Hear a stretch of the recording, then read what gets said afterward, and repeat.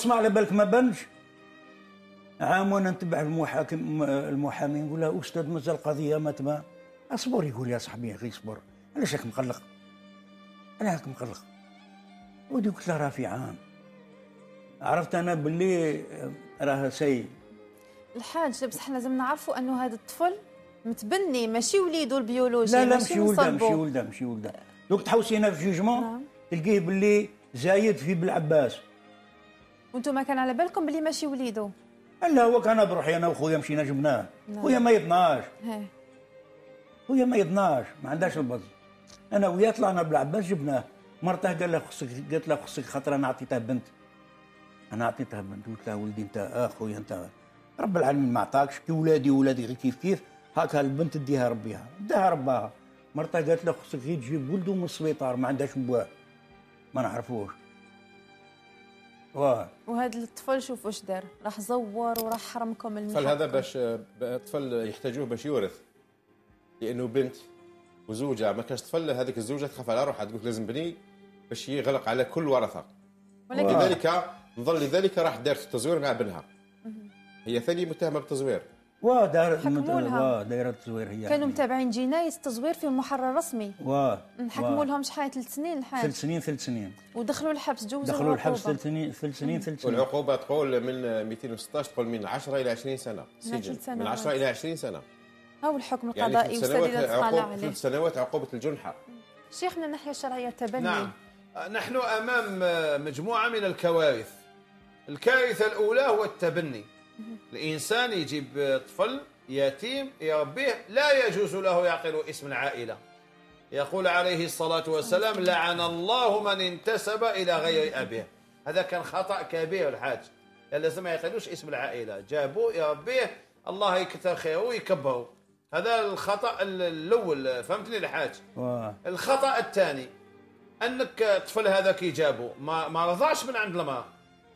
لأن المراه لا لا لا ما رضعش عندها صح هايدك. ماهوش حتى ولدها من الرضاعه لا ماشي ولدها. أنت أعطيت له بنتك. دوك بنتك تكبر مع هذا الرجل هو أجنبي عنها. واه ماهوش خوها من الرضاع لا. ولا قولوا وليد وليد عمها ولا ما كان والو. فهو أجنبي مجموعة من الكوارث.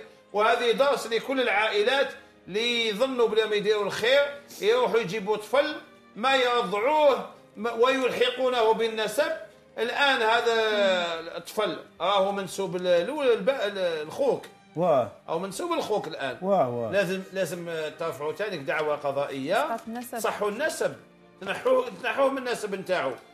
وصعب, ماهوش وليده وصعب جدا إنك ترفع دعوة. هاي لك هاي هاي م- مجموعة كوارث يعني. في النهاية راك شفت خوك ميت في التسعه. وجاب لكم ورقه باللي خوك كتب له هبة واه 11 نهار في ال 11 11 واه في ال 11 إيه. والحاج البصمة تعمل في بصمة العقل للان مازال ما بانش ما داروش خبرة. ما داروا والو. واش راه- شوفي صرنا في الجنايات؟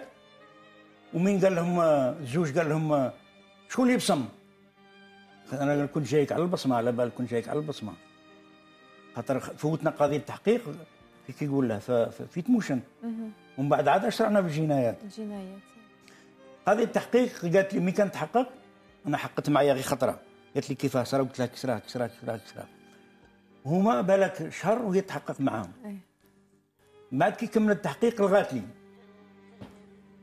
قالت لي تعرف عليها لغيت لك؟ قلت لها لا. قالت لي لغيت لك باه باه نقول لك باللي آه البص... آه التزوير ثبت 100% الحمد لله. قالت لي قالت لي قلت لهم جيبوا لي النكوه تاع المرحوم.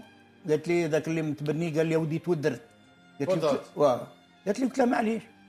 قالت لي كتبتهم هما للرابعة تر- هما زوج وزوج شهود. خاطر معاهم زوج شهود. قالت لي بصموا قالت لي وصيفط للدائره صيفطوا لي الدوبل تاع النكوة. قالت لي بعثتهم للجزائر. قالت لي كي ردوا لي قالوا لي هذه البصمة ماشي تاع حد تاع واحد أخر. يعني كلش مزور. كل شيء مزور. واه بنتي. ويماه واش كان دخلها في الحكاية؟ دورها في القصة. كل شيء من تحتها. شفت واه كل شيء من تحتها. لأنه هو يحفظ لها الورث. هي هو يخلي الباقي ما يورثوش. نعم. آه. هو أصلا هو لا يرث. الشهود حكموا كيفاش لهم تيرث؟ عام. لا. إيه، هو عام حبس هو متبنى. غير نافذ. بصح هو مسجل باسم هما. ثلاث سنين ثلاث سنين؟ إيه هاول قلت له الخطأ الأول أنكم درتوه تبني لأن شرعا هو لا يرث. يا شيخ السكن هذا والله ديتوه الآن ديتوه؟ سكن تقسم بين الورثه بلا مجال. باه